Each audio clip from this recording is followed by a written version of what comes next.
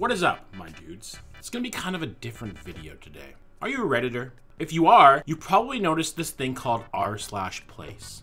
One of the most interesting things on the internet over the past weekend. If you haven't been in there, you are missing out, especially if you're a Twitch frog. Yesterday, after getting absolutely rolled in Valorant, I clicked on Ludwig's stream, only to see him looking at what I thought was a bunch of NFT cringe. But the more I watched and the longer that I sat there and partook in this, I realized that there was a lot more going on here. Basically, the way r slash place works is every Redditor, big or small, gets one pixel over an allotted time period. If you're a verified Redditor, you get one pixel every five minutes. If you're not, you get it every 20. It depends on the timing. Or if you're a mod, you can just cheat you know, place it whenever you want. But what it has turned into is these streamers flexing their communities, taking up spaces where they want to. It's a way for them to wage war against each other, to troll, and in some cases like XQC, just troll the whole space and destroy large swaths of the map. In my opinion, the most powerful of these people on this board is Mizkif.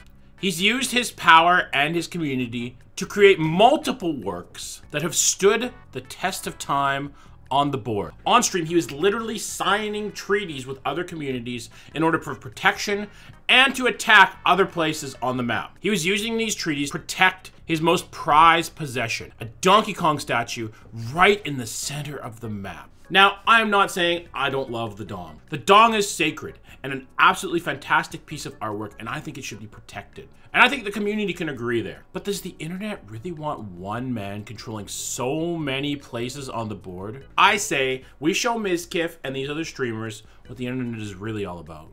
Down in the bottom left-hand corner, there's a little frog statue with OTK written on it. This is Mizkif's org and kind of his symbol, the frog. I say we strike on the frog, blacking it out forever. Keep the square black for as long as possible. Today is the last day of r slash place. And these streamers have been having their way with the community for as long as they want, using it for content. But this space is about all of us, not just these content creators. It's about making flags.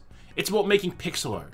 It's about drawing dicks and Among Us characters. Not stroking the egos of millionaires and some of the world's biggest internet personalities. Do as you will with your time and your pixels, but I, for one, will be attacking the OTK Frog all day. And if you want to, come join me in bringing down one of the internet's biggest personalities and characters. I appreciate your time, and if you want to check out more of my content, do so.